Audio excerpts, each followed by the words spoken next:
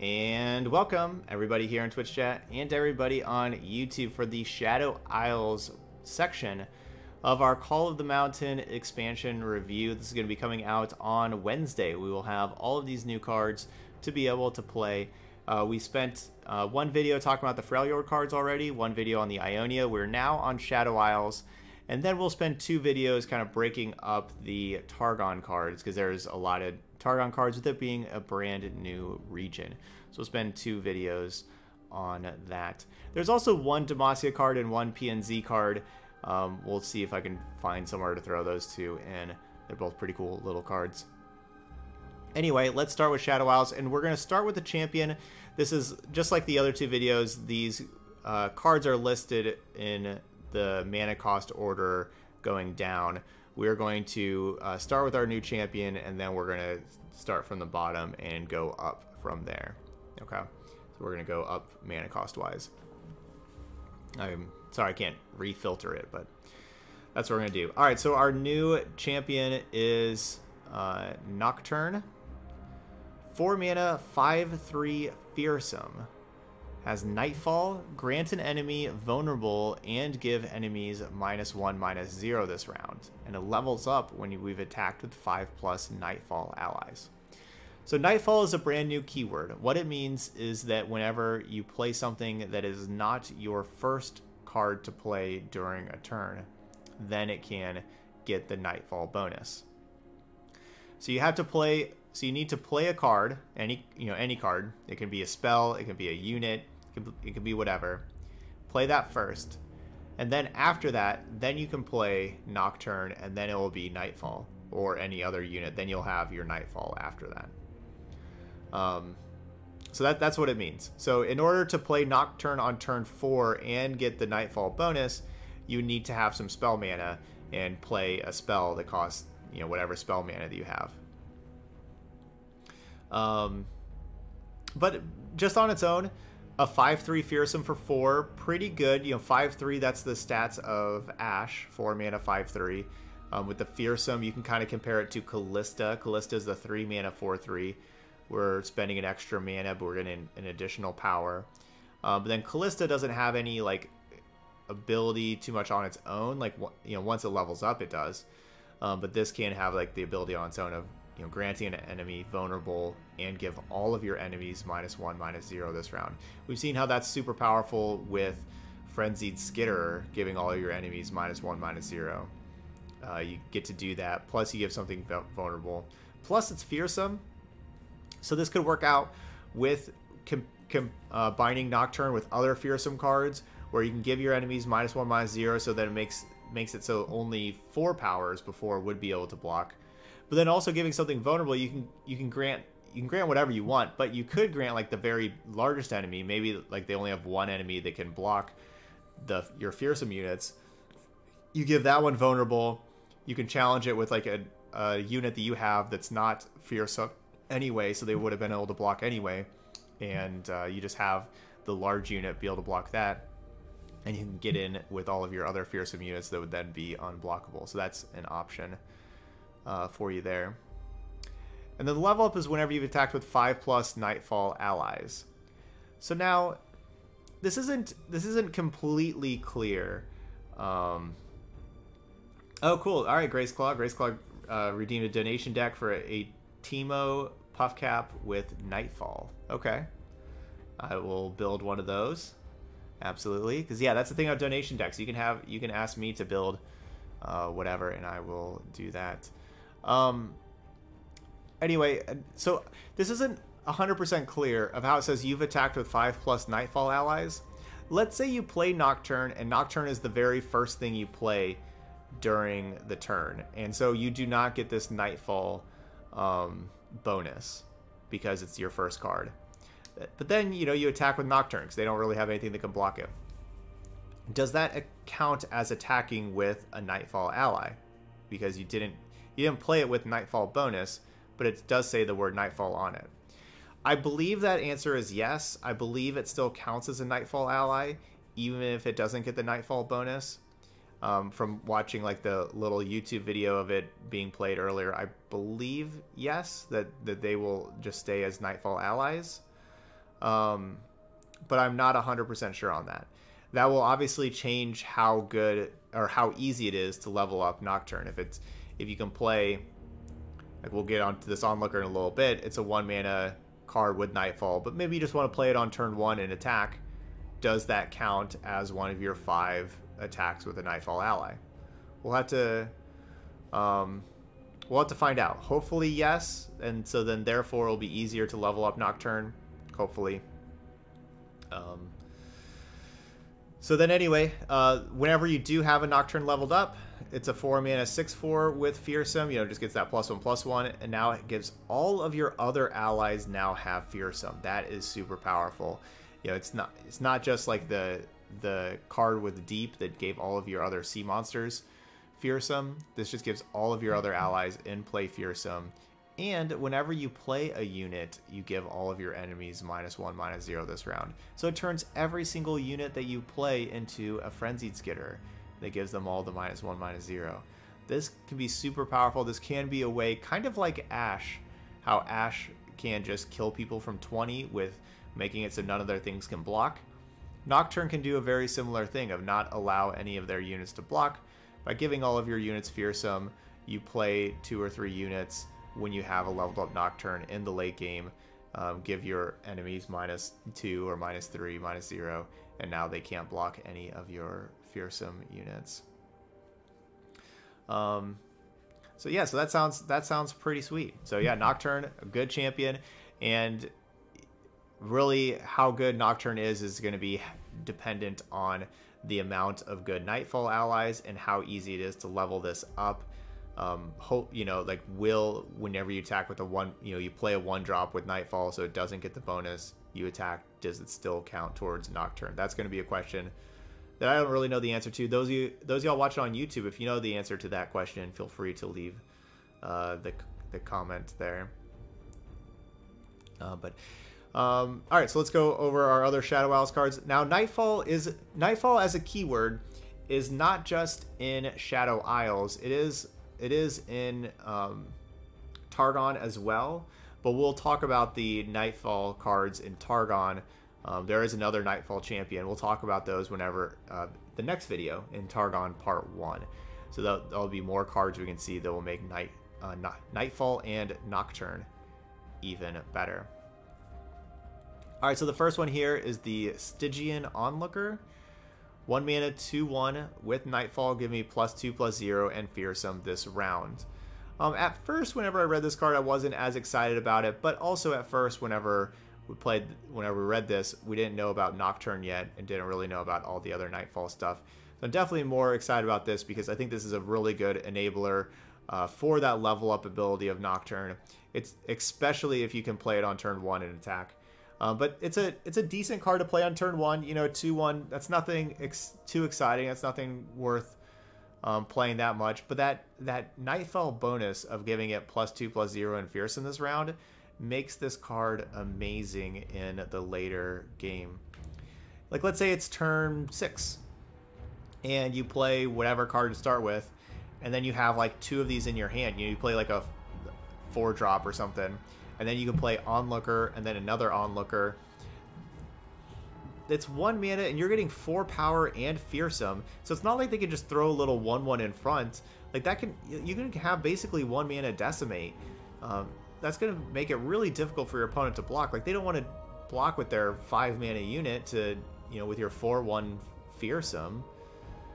Um, sure, it's vulnerable to to removal spells with only the one health, but that can be a lot of pressure, especially in a deck built around uh, fearsome in general. Um, yeah, that is true. If you have like warning shot on turn one or any other zero mana spell, you can go Warning Shot. You can play this attack for four on turn one. Um, you know now they're at 15. You know if you go Warning Shot then Onlooker, now they're at 15. That's a ton of pressure. Uh, but still, I I like one like having a one drop that scales to be a really good card in the late game is awesome. Like that's the kind of one drop you want to play because then it's it's a good card to draw later on as well. So Onlooker looks pretty strong. Um, All right, we have Shroud of Darkness, and then so like that's kind of the thing about waiting until you have more cards to do these reviews like I like to do. I like to, to wait till we have more cards because whenever this was previewed the very first turn or like the very first day it was previewed, I was just like, this card doesn't look very good because a one mana two one's not a card that you really want to play that much. We see a lot of one mana two ones that don't see any play. Um, but uh, yeah, the, with it having the Nightfall, it's an important one. All right, Shroud of Darkness, one mana burst. The next time you summon an ally this round, give it plus one, plus zero, and spell shield. This is a wonderful Nightfall enabler because it's only one spell mana, not even you know not the your unit mana, just one spell mana. You get to play this first, and now all of your Nightfall cards are enabled. Um, and also you can give something plus one, plus zero, and spell shield for a round. That's also pretty nice. So like let's say it's turn five and you have your one spell mana, you can play your Shroud of Darkness, and then you can play your Nocturne and give this plus one plus zero and spell shield for this round, and then you can also play your Onlooker and have another four one fearsome, and you know you can, and that's just attacking with some, you know, a couple of great fearsome units on turn five. Yeah, Shroud of Darkness definitely going to be an important uh, card to enable Nightfall. Um, all right, next card we have for two mana we have Unspeakable Horror. It is fast speed, drain one from anything. But then it also has Nightfall, create a random Nightfall card in hand. I like this card quite a bit. So think about um, think about Vile Feast. Okay, compare this to Vile Feast. Vile Feast is drain one from a unit and create a 1-1 spider. This is drain one from anything, so that means Nexus as well. This can go upstairs and deal one damage to the Nexus. You don't have to just sit there and wait for there to be some kind of unit that you want to drain one from. And instead of getting a 1-1 spider, you're going to sometimes get nothing if it's the first card you play. Which obviously that's worse. But, you know, you don't have to play it first. But whenever you play it at Nightfall, you get to create a random Nightfall card in hand. So you get to create just a random card in hand that almost assuredly is going to be better than a Spider token in play, just a zero mana 1-1. Which that's like, you know, a Spider is basically like your, you know, you don't spend any mana on it, you just get a generic 1-1. Um, so yes, this is Vile Feast that can hit face, that also can be card advantage that can replace itself and be a new card in hand.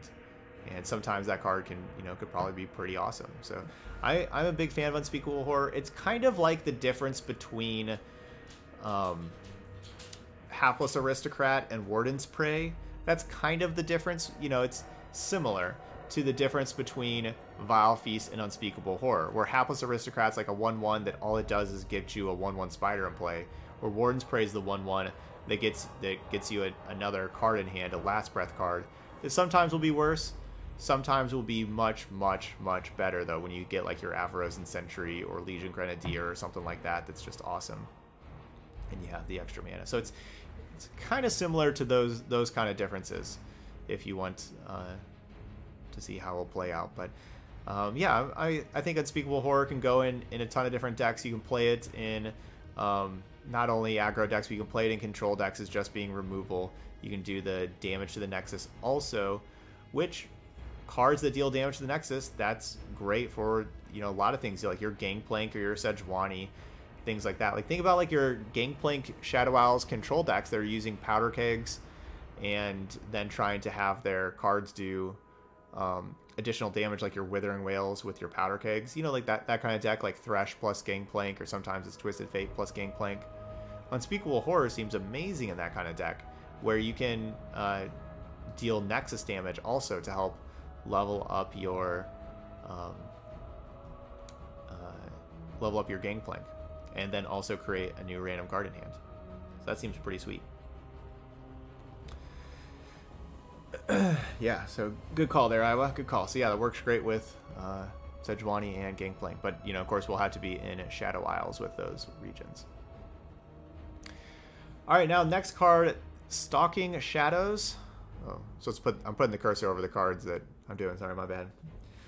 So the next card, Stalking Shadows. This card is one of the best cards in the set, in my opinion. Expansion, sorry. The set is all three.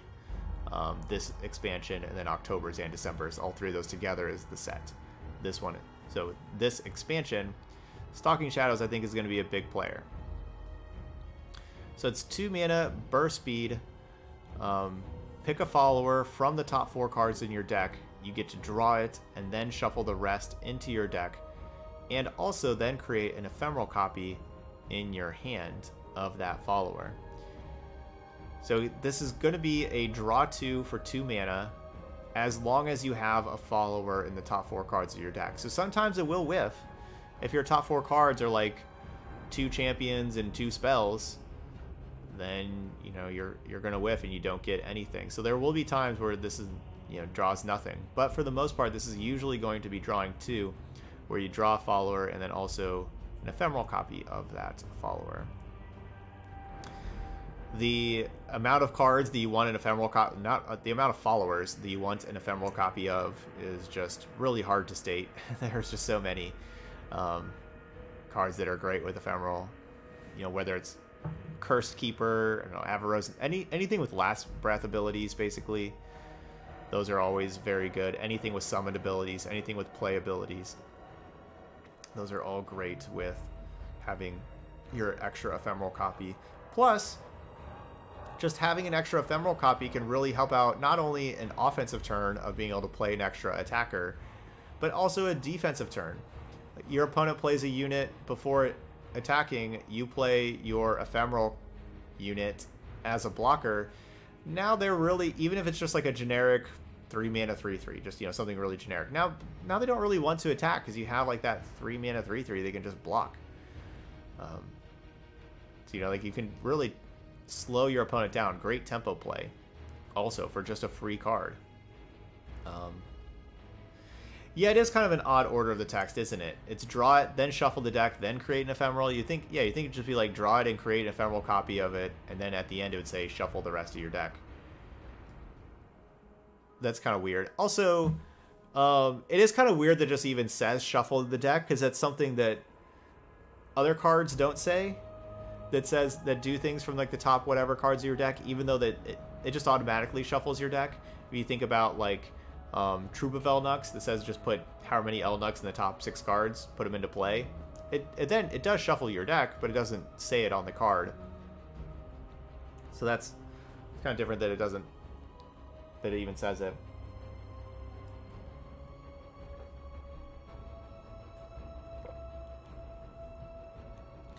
Um, yeah, that's a good point. Somebody in chat says that the onlooker, if you look at its eyebrows, are like super long, but then whenever it's on the Shroud of Darkness, these eyebrows are not not nearly as long. It is kind of weird, right? That it's different because it's definitely the same thing, like the onlooker. It's definitely the art of onlooker also. But I don't know why. Is this like a younger onlooker? And so it hasn't this one is like older and wiser and so it has longer eyebrows. I don't know. Maybe. um, so yeah, quite some randomness in here. But the thing, another thing that makes this really powerful is there are a lot of cards that care about um, spells, care about you playing spells. Um, like Lee Sin, for example, wants you to play spells. And so any of those cards that want you to play spells, you get a bonus for playing a spell, this is going to work out well. Maybe this goes with like Puffcap Peddler, that you can find, you know, Puffcap Peddler, find a Chump Whump that can, you can replay, you know, you can play the Ephemeral Chump Whump and get more Mushroom Clouds. And um, then with your, uh, you know, like your Puffcap Peddler, you get you get the um, ability there, putting puff caps into their deck because you're playing a spell. Um, same with Starlit Seer, kind of thing.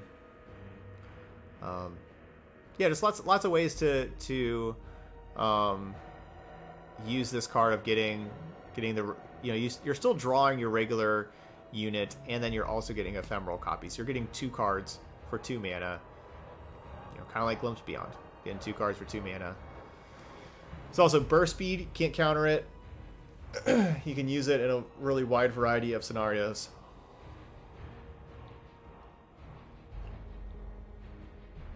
If you glimpse beyond on a unit with spell shield, do you still get the two cards? It's a good question. And I don't know the answer to that. I guess we just this is the first card I think with spell shield, and I guess we didn't really talk about what that means um, whenever we went over this card. Spell shield is an, another new keyword here in Call of the Mountain. That means that uh, counter the first spell that is cast. Um, I think that's what it means, right? Or it's protection from the first spell. Um, I think so. I would think it would be no. I think that the answer would be no. Like if you if you have a unit with spell shield and then you try to glimpse beyond it, I don't think you would draw the cards. I think that that would just be countered. I believe.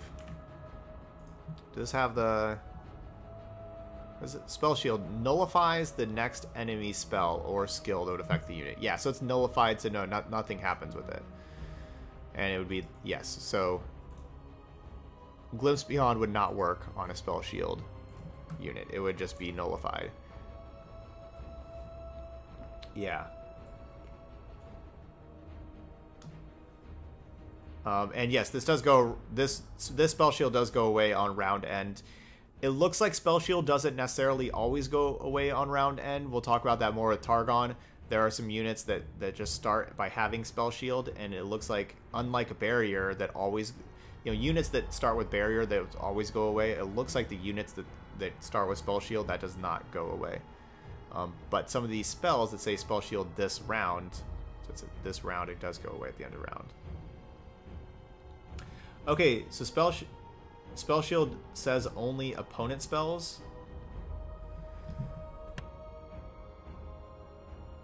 Alright, so that, that little text that we just read didn't mention opponent spells, but you're saying like the, the actual Spell Shield text only says... So if I click on this thing, Spell Shield nullifies the next enemy spell or skill that would affect the unit. Okay, there we go. Alright, so Glimpse Beyond would work, and it would so you would sac so it just worked like normal. You would sacrifice your unit, you'd kill your own unit, and then you would draw your two cards. Because it is enemy spell or skill. Hey Jorge, stream's going good. Um, I guess I have to get out of here, hit the back button, come back. Okay. Um, let's see. Unspeakable Horror. We already talked about that card. That's a, a really good spell, and that looks to be Nocturne's champion spell. So that's gonna be that's gonna be Nocturne's champion spell as well.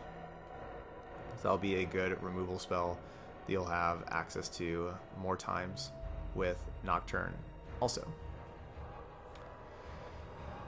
Alright, next card right here. Passage Unearned. 3 mana, fast speed. Obliterate all units that were summoned but not played this round. So the the most obvious case scenario for this card is your opponent plays a harrowing, and with harrowing, you summon, you know, like six units, put them into play. You can then use Passage Unearned and obliterate all of those units that were just summoned.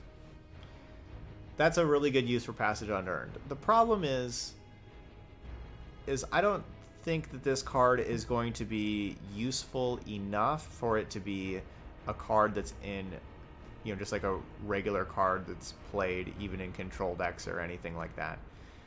There are definitely different ways to summon units, you know, like Chronicler of Ruin would kill a unit and then resummon it, or, you know, Thresh would summon a, a champion from the deck. Um, so like if Thresh plus Aurelion Sol becomes big, you can use Passage Unearned to get rid of the Aurelion Sol uh, that Thresh would bring into play. I mean, it's just like corner case scenarios, you can see how Passage Unearned could be really nice. But it's just, will that happen a consistent amount of games that you'd actually play this? Because think about all the games like where you'd have this in your hand and it does nothing.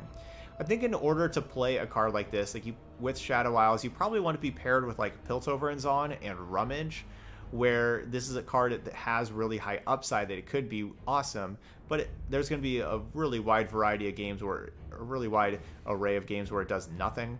And in those kind of games where it's not doing anything, you can use your rummage cards to uh, get rid of it. You can discard it, draw a new one. Maybe you play like the rummage units as well, um, and so you can have a card like Passage Unearned that has high upside. Maybe maybe with uh, Heimerdinger, you know, it's your three mana spell with Heimerdinger. Who knows? But um, uh, yeah, you, so you do have that ability to rummage it away for when you don't need it. Um, yeah, so it could be, you know, we're in the Targon Part 2, we're going to talk about Aurelion Sol and all the things that it can do. Um, but yeah, it, it, also has like some more summon stuff. So yeah, this this seems like a, a pretty a pretty narrow card. Um, and so finding finding room for a narrow narrow answer is tough. But it's probably good that the card exists so that if if harrowing, for example, harrowing would become just a huge part of the metagame and dominate, you have an answer here with a card like Passage Unearned. Um, yeah. All right, next card, Doom Beast. 3 mana, 3 2 with Nightfall, and it will drain 2 from the enemy Nexus.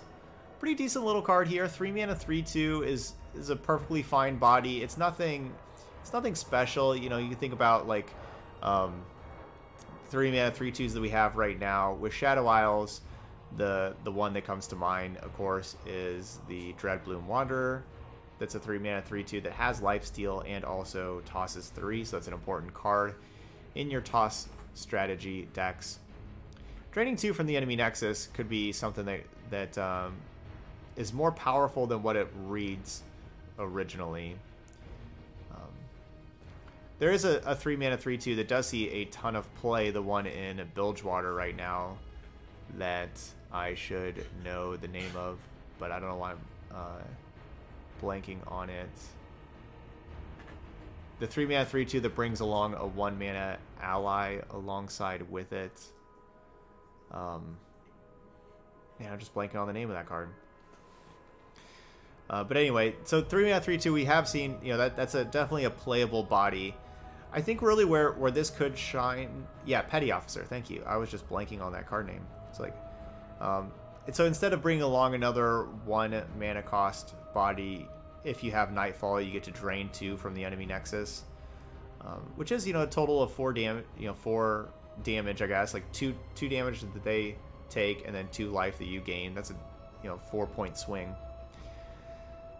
Really, where this could see some good play, besides just being another Nightfall card for Nocturne, like where you just want a critical mass of Nightfall cards when you're playing your Nocturne deck. Besides that, I could see this in little Shadow Isles uh, ping decks. They're like these little aggro decks that play um, your Neverglade Collector kind of decks that has like your 2-4 whenever it dies you drain one. This could just be another card that drains with like your Neverglade Collector and the uh, 3 mana 03. Man, I am blanking on some card names. The 3 mana 03 that also deals 1 to your opponent. Um, But anyway, that's so that, that could just be a more way for Shadow Isles to do Nexus damage. You can also pair that, of course, with your Unspeakable Horror, draining one from your uh, enemy Nexus, and this does turn into a lot of Nexus damage. Also, if you are playing, this could be a good card to be playing in that, that Gangplank uh, Shadow Isles control decks that we talked about how they use a bunch of powder kegs, um, and like how Unspeakable Horror can also go upstairs to help level up Gangplank. Doom Beast just automatically, like you play whatever spell first, and then you play Doom Beast, you just drain two from the enemy Nexus. That's more Nexus damage to help your Gangplank level up. And then it also just pairs with all of like the Bilgewater cards that's doing Nexus damage anyway. Um, so you you know you can have a lot of you know help help that out. Um, also, all your plunder cards. You know, you can play your Doom Beast and then play whatever plunder cards that you want. You know, like your Black Market Merchant or anything like that.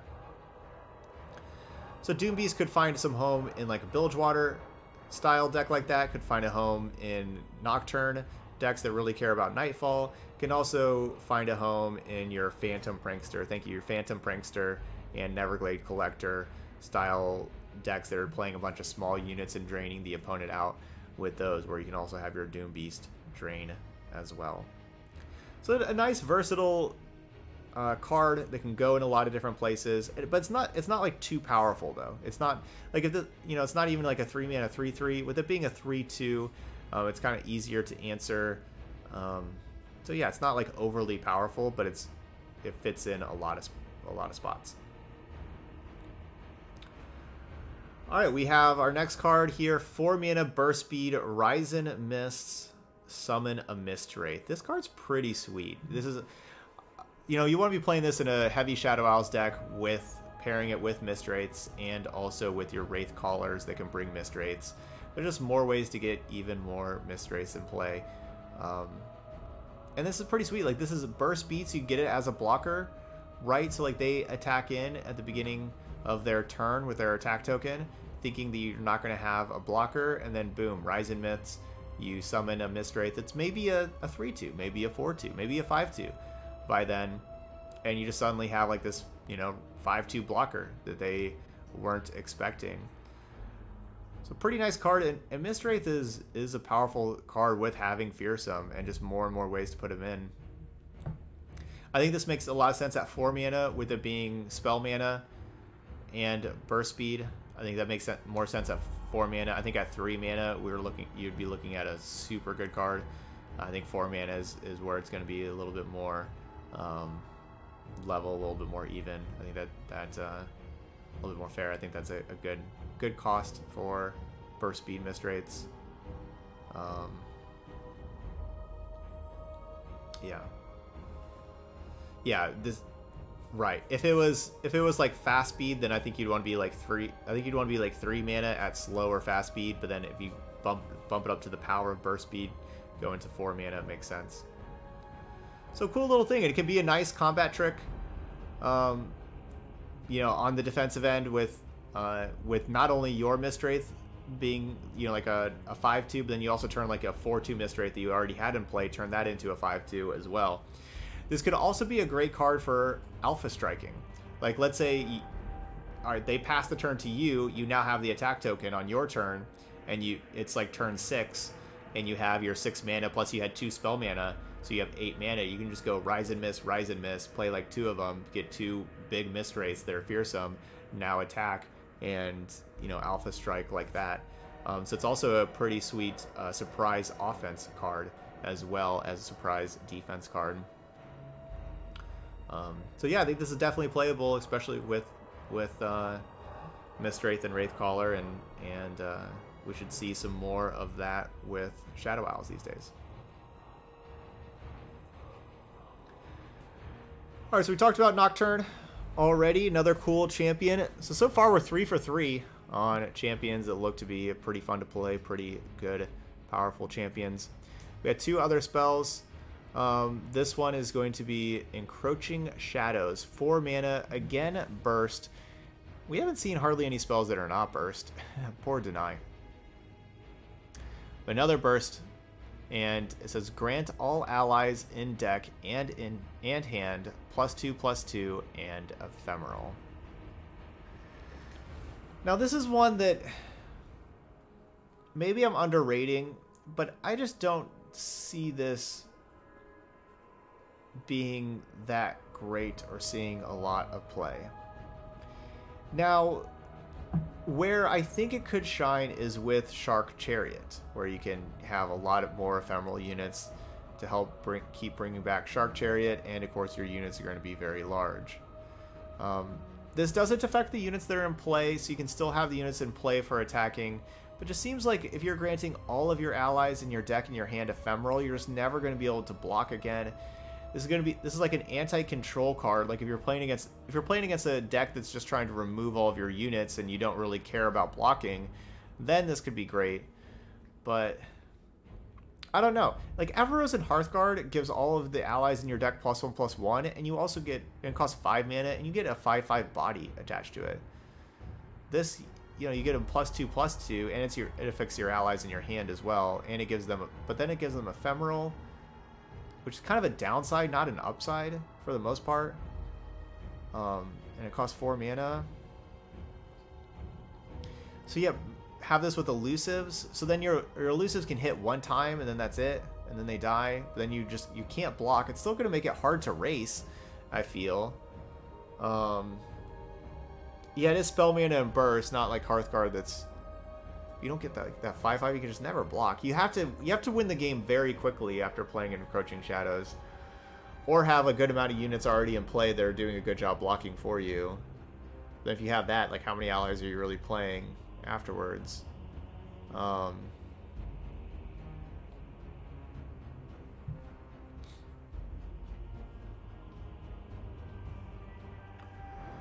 Yeah, you'd have to you'd have to have like a, a, one yeah you'd have to try to go for like a one turn kill thing. Maybe like this with it doesn't like reduce the mana cost of your allies. So you can't really get them out any faster. They're just going to be a little bit larger.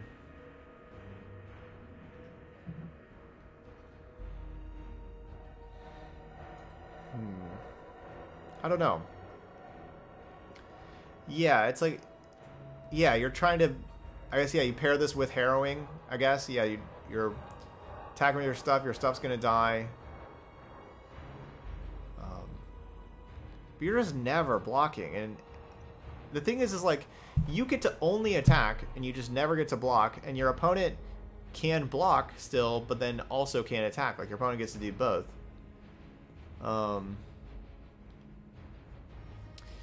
Yeah, I agree. This is not something you just casually put in your deck. This is going to be if you're playing Encroaching Shadows, your entire deck is built around Encroaching Shadows. This is a complete build around card. Um, you don't just kind of put you don't just put this in any deck. If you're playing this card, your deck is an Encroaching Shadows deck.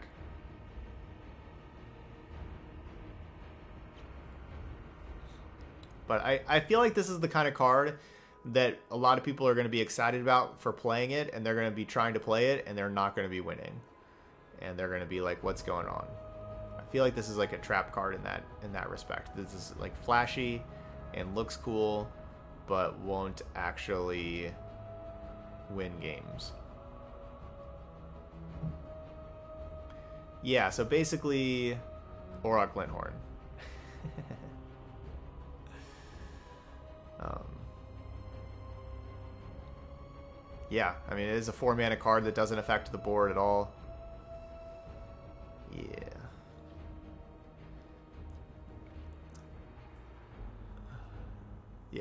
Doesn't seem worth it.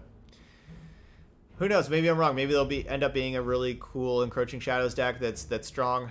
Um, maybe it is with uh, fem- maybe it is with. Um, it probably has to be with like elusives because you have to make it where if you can't block, your opponent can't block also, kind of thing. Or maybe with Shark Chariot, maybe there's a way to get a bunch of Shark Chariots and this can allow you to have more things help out your shark chariots. But the thing is, like your shark chariots, they die, they come back. They're still going to be coming back as three ones. They're not coming back as five threes. This doesn't affect those. I don't know. Um, yeah, maybe, okay, yeah, maybe this helps with your Phantom Prankster Neverglade Collector deck that all of your, you know, like you play whatever things and they die immediately. Like you play um, Hapless Aristocrat, it dies. You get those those things, and then and then you can still get your spider to block with. I, I don't know. Teams, I don't know. I mean, with the Undying, but how are you out racing anybody with the like? They're just gonna outrace you. They'll just block your the Undying, and then it's like you're you're you're the Undying will be a four four ephemeral, and you'll attack, and then it will die, and now it'll come back as a three three that still can't block. Um. No, I guess it, no, I guess it would keep the plus two plus two, so I guess it would come back as a five five. But then it won't be ephemeral anymore whenever it comes back. I don't believe. It just doesn't seem like that's going to be defeating the opponent. Like they played they played the card Hapless Aristocrat. You you lose. Alright, anyway, uh last card, Dusk Rider, five mana, two five with fearsome. Looks like a lot of these uh, Shadow Isles cards, especially these Nightfall cards, are pretty fearsome. It's another Nightfall card. Grant me plus one plus zero for each time we have activated Nightfall this game. Whenever I first read this card, this is like the uh, other one drop that I was not excited about this card at all. Um, but we do have a lot more fearsome things and a lot of cheap fearsome things. So I think this could reliably be a... Like, let's say reliably you have activated Nightfall three times um, whenever you play this card. And so it's a 5-5 fearsome. So, you know, like, 5 mana, 5-5 fearsome. Are we are we playing that in, in our fearsome deck? Like, maybe. It depends if we have to play it for more Nightfall cards, if we need enough Nightfall cards for Nocturne. But, you know, 5 mana, 5-5 Fearsome.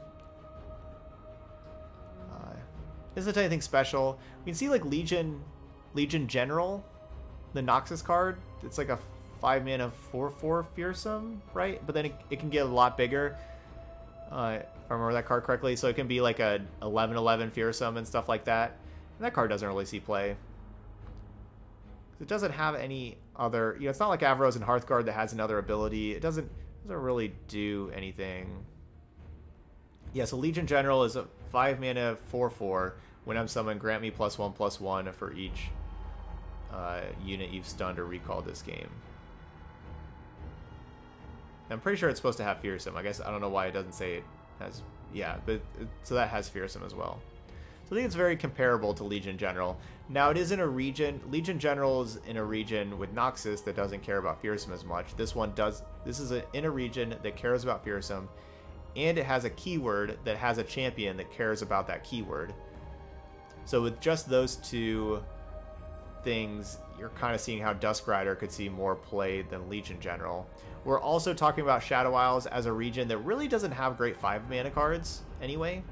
It's not like there's much competition.